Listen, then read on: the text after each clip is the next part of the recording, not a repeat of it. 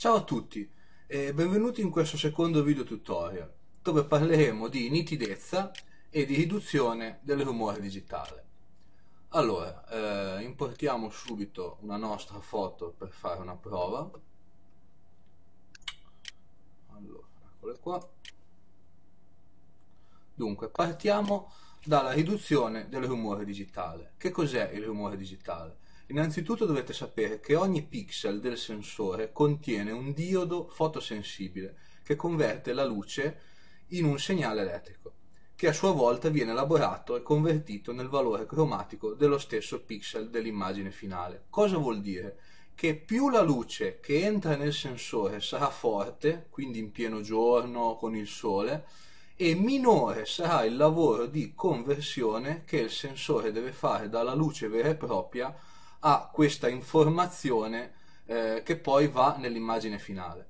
Quindi quando ci sarà poca luce, quando sarà sera, quando sarà notte, eh, la luce che sarà minore verrà convertita dal sensore di più, maggiormente, e quindi ecco qui che entra in gioco il rumore digitale. Più piccolo è il sensore e più sarà il rumore introdotto, perché maggiore è stata la conversione. Vedi bene il sensore de- delle piccole fotocamere digitali, dei cellulari e così via.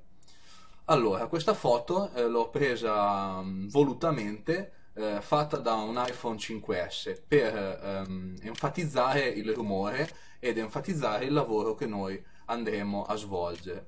Allora, sviluppo, ecco qua. Come potete vedere, da qualsiasi livello di zoom si nota abbastanza bene che la foto è molto rovinata, è molto sgranata. Eh, diciamo che una sgranatura del genere con una Nikon D3002 si potrebbe arrivare a ottenere con 800 ISO, forse anche di più. Comunque, andiamo ad effettuare la nostra riduzione del rumore. Andiamo qua, luminanza.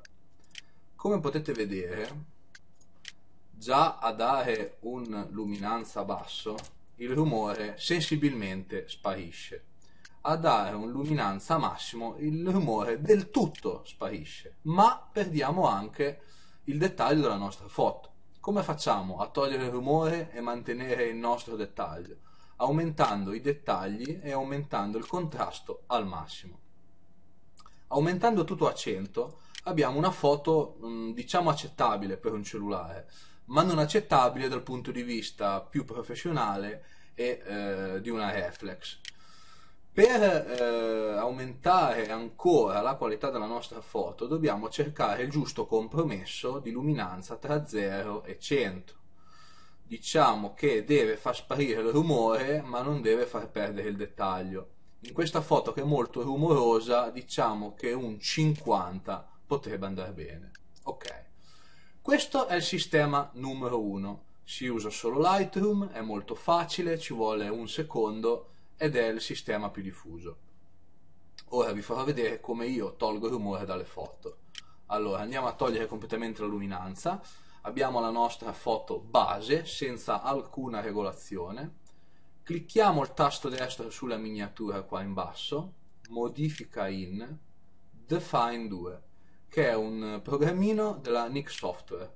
Questi programmi eh, lavorano a stretto contatto con Lightroom, come vedete io dall'interno di Lightroom ho avviato il programma, non c'è alcun problema.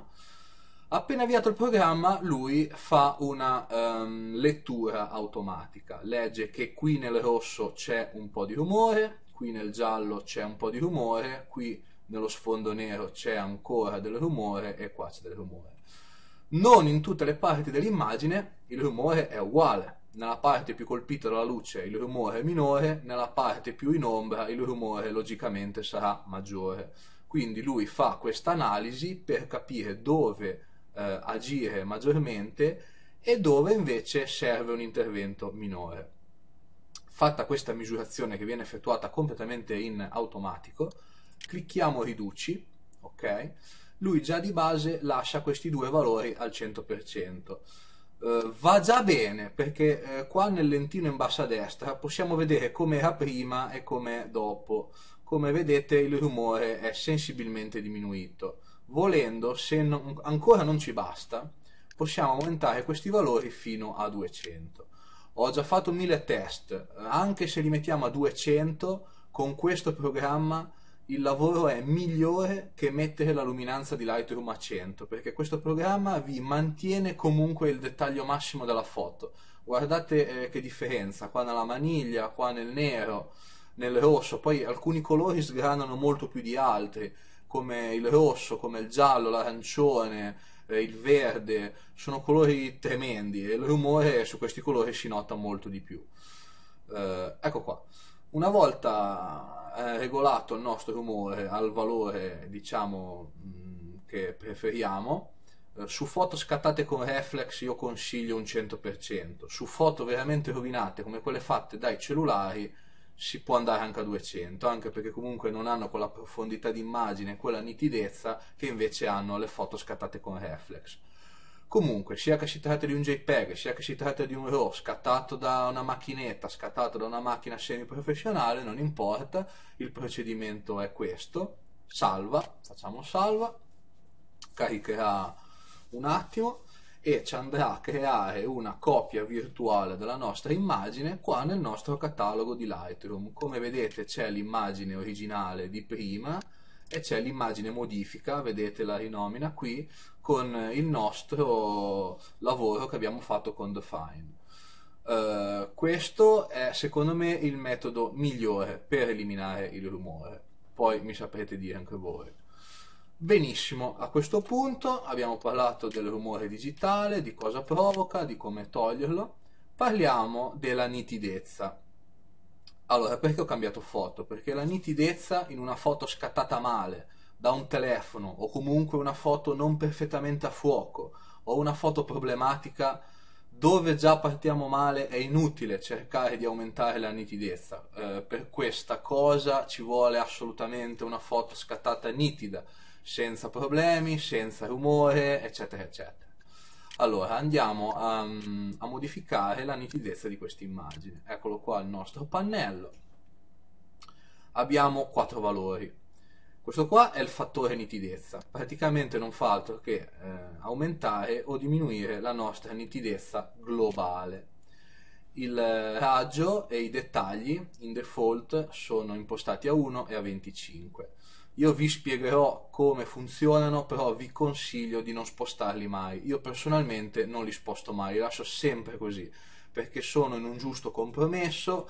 Eh, se li aumenti o li diminuisci, secondo me rovini l'immagine.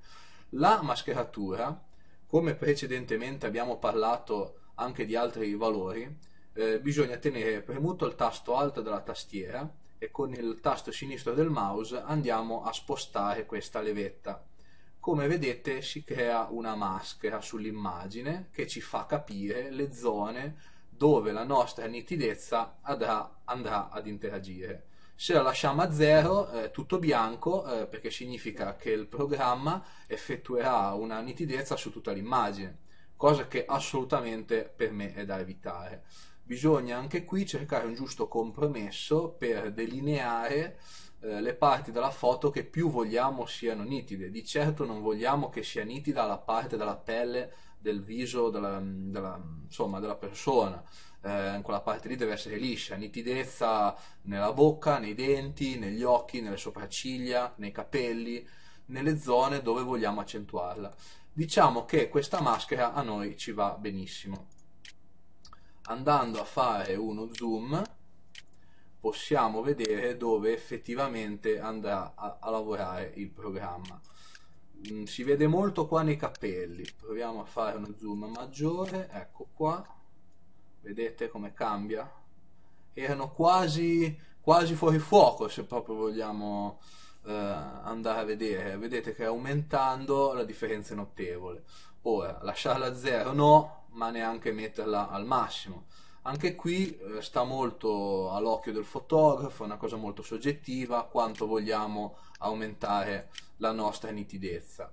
Io direi che la mascheratura l'abbiamo regolata, eh, quando ci diamo una nitidezza di 56-58 va benissimo. Così era prima e così è adesso. Eh, certo, la nitidezza non è come la luminanza, non fa i miracoli, però una foto che già eh, parte bene possiamo migliorarla ancora di più. Allora, vi spiegherò brevemente, giusto per, per farvelo sapere, cosa servono questi due valori. Allora, come possiamo vedere in questo lentino, dove va a vedere proprio lo zoom di dove siamo a lavorare, aumentando il raggio abbiamo una nitidezza più impastata, se lo diminuiamo il raggio è più piccolo. Ehm, come posso spiegarvelo meglio? Ehm, diciamo che lavora di più se aumentiamo il raggio e tende a rovinarla un po', tende a impastarla, a rendere un effetto innaturale. Ecco, così lo vediamo meglio, vedete? Spero che nel monitor si capisca di più. Se la mettiamo al massimo, il raggio, i pixel sembrano quasi più grandi. Eh, non va bene, se invece la teniamo al minimo, anche qua abbiamo un effetto inverso. Diciamo che va tenuta qua. E i dettagli invece come possiamo vedere andrà, andrà ad aumentare una grana alla nostra immagine che decisamente sta male. Quindi questi due valori secondo me vanno lasciati qua. Va regolato il fattore principale e la mascheratura. Questa è la nitidezza spero anche in questo video tutorial di esservi stato utile di essere stato chiaro ci vediamo nel prossimo episodio. Ciao!